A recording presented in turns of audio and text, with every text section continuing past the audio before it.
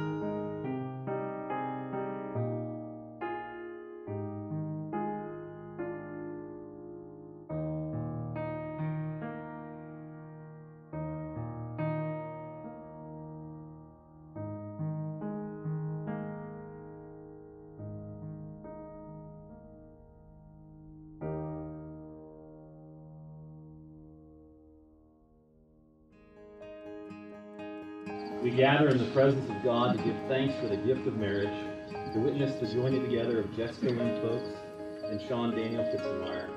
We surround them with our prayers and to ask God's blessing upon them, so they may be strengthened in their life together and nurtured in their love for God.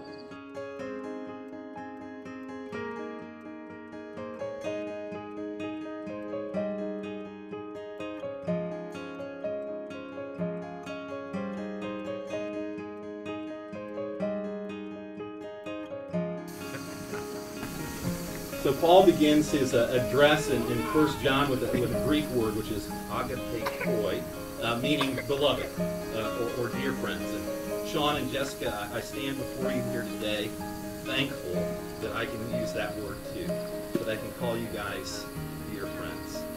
And that you guys standing here are, are boldly declaring each other as beloved. Jessica, you pursued Sean, and Sean's a pretty smart guy, so he allowed himself to be caught. the pursuit and the catch, the dating and the love that brought you to this day. Sean and Jessica, you're about to jump off the swings, to begin to play a new game together. Marriage.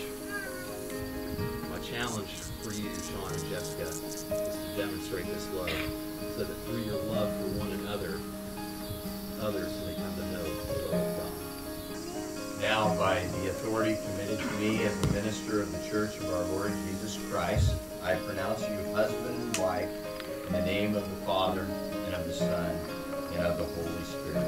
Amen. What God has joined together, let no one break apart. Sean, you may kiss your wife.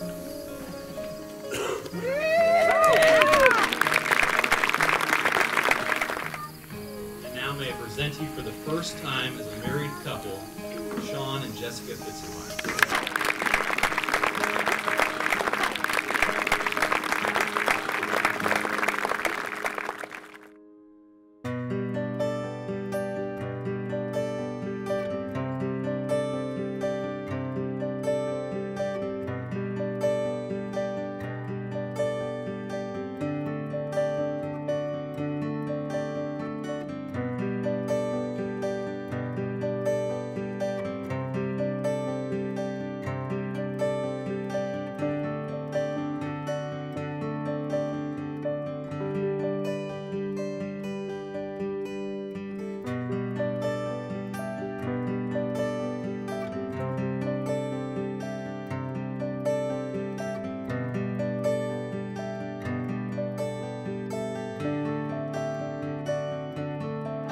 Seeing you two together and the love you have for each other, how happy you guys make each other, you know this marriage is going to go well. With the examples that you have, um, like your parents, you have great role models to look up to.